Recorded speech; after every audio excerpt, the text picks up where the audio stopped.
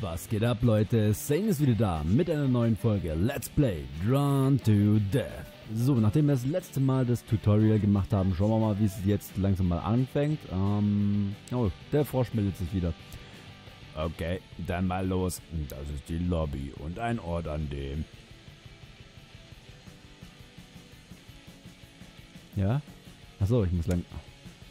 Oh scheiße Mann, meinst du etwa mir macht es Spaß dir Dinge beizubringen, während dein beschämend lahmes Hirn offensichtlich schon wieder dabei ist alles zu vergessen? Aber hey, weil das mein Job ist, muss ich weitermachen, also halt die Luft an und versuche zuzuhören. Das hier sind all die Waffen, mit denen du spawnst, immer wenn du zum Kämpfen in das Notizbuch fällst. Alles schön ordentlich, eine schöne kleine Spalte, damit dein simples Gehirn das auch kapiert. Scheiße, wie perfekt. Für dich. Also, die Waffen in diesen Plätzen, egal welche, sie werden jedes Mal ausgerüstet und einsatzbereit sein, wenn du auf das Schlachtfeld fällst. Du möchtest den Inhalt dieser Plätze ändern? Markiere mit dem linken Stick den Platz, den du zu ändern möchtest. Halte X gedrückt, um dir verfügbare Waffen für diesen Platz anzusehen. Und wie du siehst, kannst du jetzt eine neue Waffe in den Platz legen. Vorausgesetzt natürlich, dass du weitere Waffen hast. Benutze den linken Stick, um eine Waffe aus deinem Arsenal auszuwählen. Halte X gedrückt, um diese Waffe automatisch in den gewählten Platz zu bewegen. Wunderbar, du hast es geschafft. Du erhältst einen goldenen Stern. Wie alle anderen auch. Siehst du alle Waffen auf der rechten Seite? Mit denen wirst du nicht spawnen, aber du wirst sie auf dem Schlachtfeld finden und aufheben können. Wie deinen ausgerüsteten Waffen kannst du auch diese Schlachtfeld-Pickups auswählen und wechseln. Mach das vor einem Match oder zwischen den Respawns während des Matches. Oh, du willst mehr? Meine Güte, du willst aber verwöhnt werden. Genau wie deine Mutter an den kalten Abenden, wenn sie eine Kiste billigen Rotwein gesoffen und eine Handvoll Gleichcreme mit Geschmack eingeworfen hat. Habe ich recht? Ha. Du weißt, dass ich recht habe, du dreckiger Schuft. Aber da ich immer alle zufriedenstellen will, lass uns fortfahren.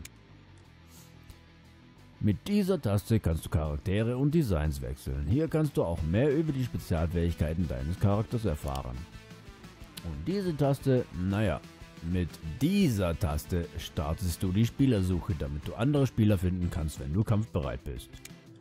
Und jetzt, Johnny Savage, haben wir, Gott sei Dank, das Ende unserer gemeinsamen Zeit erreicht. Aber hör gut zu, wenn du auf dem Schlachtfeld bist und zu Ehren der großen Hand alles gibst, werde ich hier sein und hemmungslos masturbieren.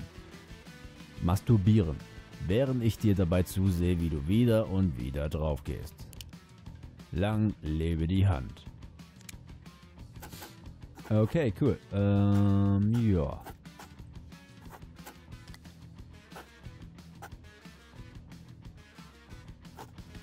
Die, muss ich die jetzt kaufen oder?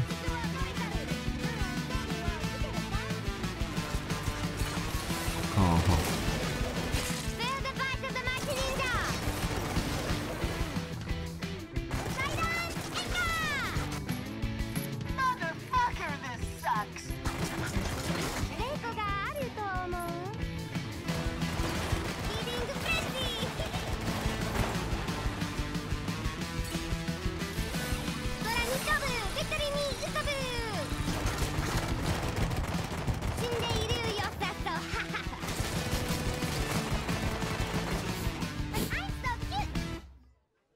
Okay.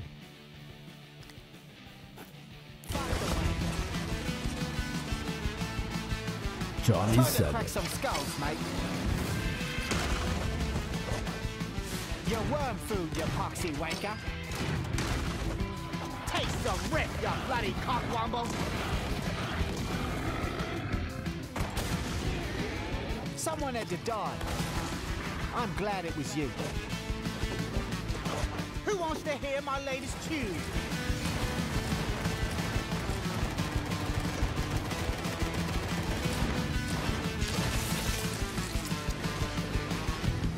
I win, so fuck off. Na dann, machen wir erstmal Johnny Savage hier. Ähm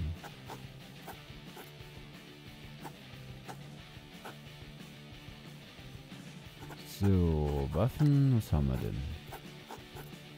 Ui, also fangen wir diesmal erstmal an mit der Fuck You 47. Und mit dem Vulkanteufel. Standardgranate. Ja. Die Regeln ändern.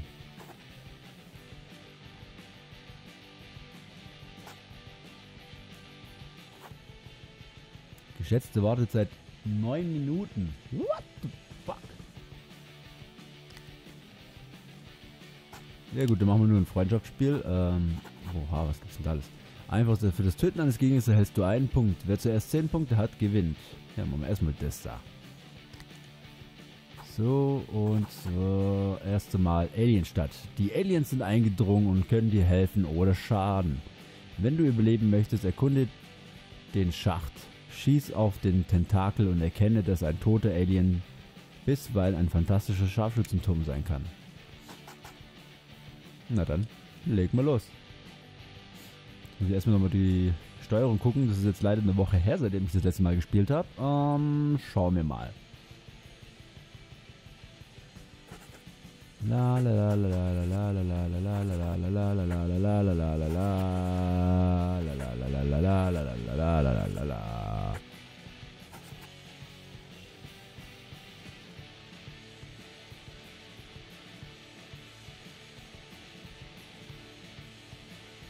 So.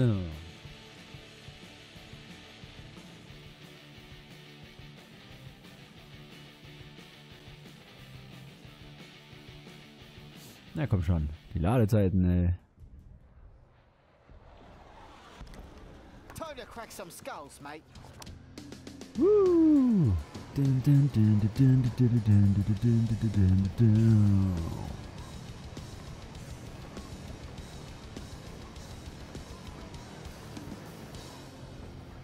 Ah, jetzt kann ich auswählen, wo. Granate, okay. Bobom. Schlag. Sprinten. Nachladen. Hüpfen. Waffe wechseln.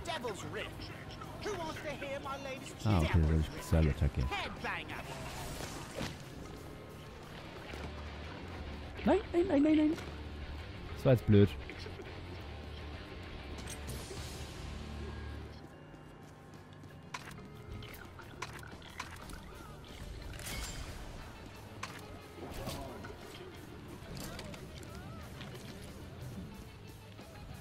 Ja, wo sind die Gegner? Hallöchen, Popöchen.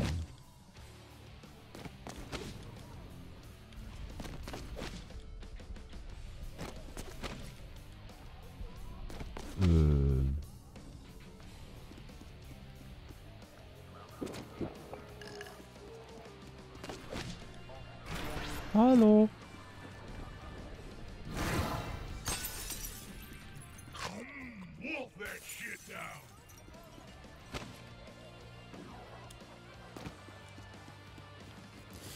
Ich habe irgendwie. Hä? Ein bisschen das blöde Gefühl, ich bin hier verdammt auch noch mal alleine auf der Map.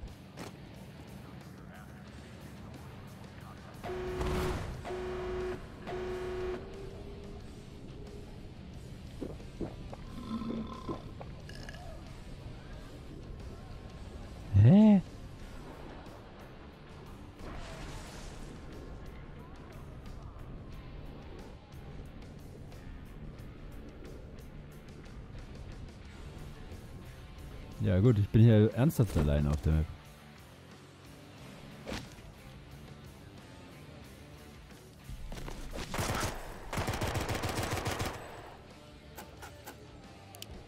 Ja, gut, das ist natürlich ein bisschen blöd.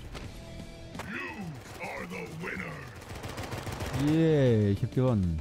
First place is all right, but the best part was kicking all your asses.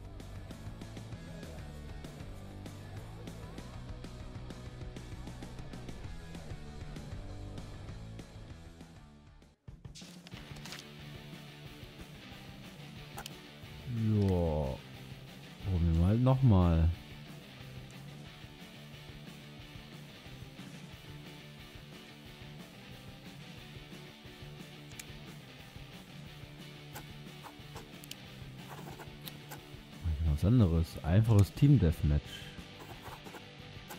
Äh, hier.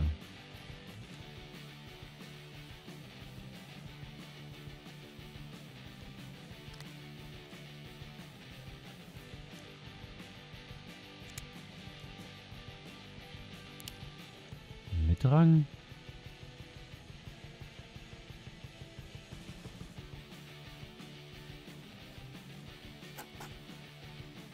Mögliches Match, ein Spieler. What? Ich habe so das Gefühl, das ist ein Spiel, das spielt niemand außer mir momentan. Also, wenn dem wirklich so ist und wir zum Ende der Folge immer noch kein wirkliches Match irgendwie richtig hinkriegen, wird dieses Let's Play wohl nicht länger als zwei Folgen. Weil jetzt da alleine durch die Maps rennen ist halt jetzt auch nicht so das Geile. Okay, mit Rang klappt es wohl ein bisschen besser. Naja, gut.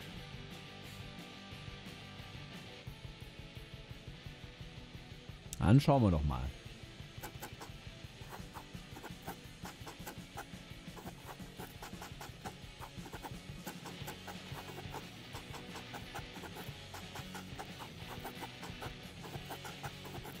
Da di da di da di da di da di da di dam dam dam dam dai ai ai ai ai.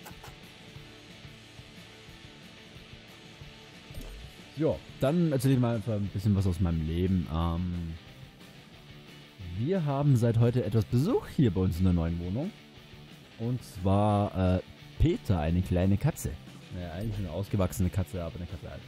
Ähm, ist von einer Freundin von meiner Freundin, die ist jetzt irgendwie für ein, zwei Monate weg und in der Zeit ist die Katze bei uns.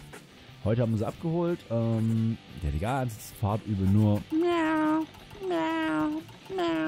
Klar, ist halt ziemlich aufregend für so eine Katze, so eine Fahrt. Ähm, auch eher ein bisschen Angst wahrscheinlich. Haben sie hier freigelassen. Momentan springt sie noch im ersten Stock da irgendwie durch die Gegend rum die ganze Zeit und sitzt da irgendwo in der Ecke. Ist halt ungewohnt. Sie hat jetzt wahrscheinlich ein bisschen Angst. Ähm, muss sich hier erstmal zurechtfinden. Gerade war sie hier ein bisschen unterwegs, hier bei mir unten im Wohnzimmer. Hat alles mal ein bisschen abgeschnüffelt, alles mal, aber sobald ich mich halt bewegt habe, hat sie erst erstmal zurückgeschreckt. Ähm, ja, jetzt geben wir mal ein paar Tage Zeit. Hoffentlich wird es dann ein bisschen entspannter alles. Und ich bin auch mal gespannt, wie sie mit unserer Nachbarskatze klarkommt, mit dem Dickerchen. Hm, ja. Ähm, das Lustige an der Katze ist, oder das Komische an der Katze ist, wie auch immer, ähm, wie die, ist also es ist einfach eine Hauskatze und wenn wir mal mit ihr rausgehen oder so, äh, nur an der Leine. Also das habe ich auch noch nicht gesehen. Eine Katze an der Leine, ähm, ja. Hey, wir haben ein Spiel. Bereit machen. Hardcore Deathmatch. Hat es ja auch nur Stunden gedauert.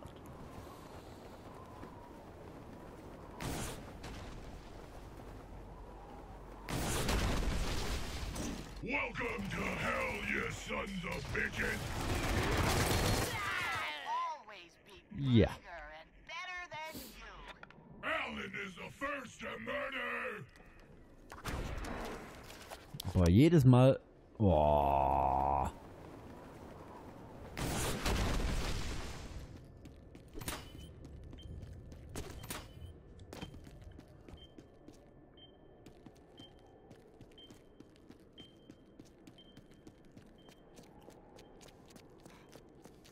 Sudden death! First kill wins! Good luck!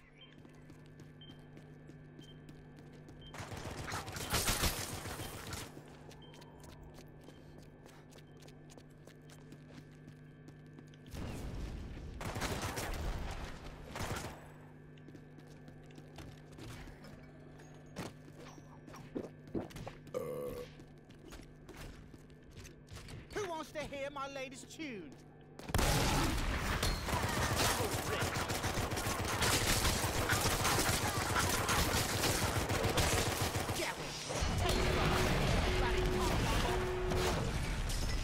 Match complete!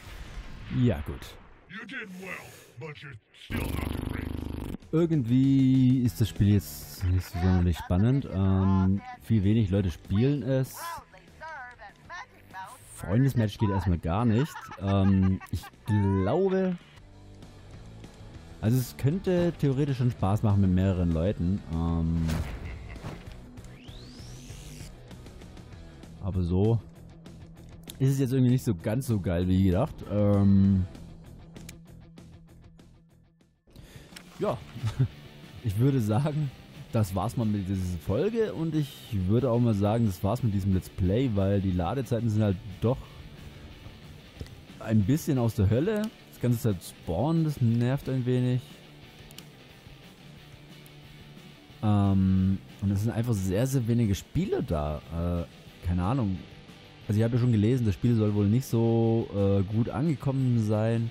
An sich finde find ich ja den Stil und so ganz cool und auch die Idee, aber ja gut. So ist es halt ein bisschen blöd zu spielen. Ist jetzt gut. Ja, ja, ja, ja, ja. Ja gut, auf jeden Fall hoffe ich, diese Folge hat euch gefallen und auch dieses Let's Play hat euch gefallen. Wenn ja, lasst einen Daumen nach oben da und ich hoffe, wir sehen uns auch beim nächsten Let's Play wieder. Bis dahin wünsche ich euch viel Spaß und haut rein. Ciao.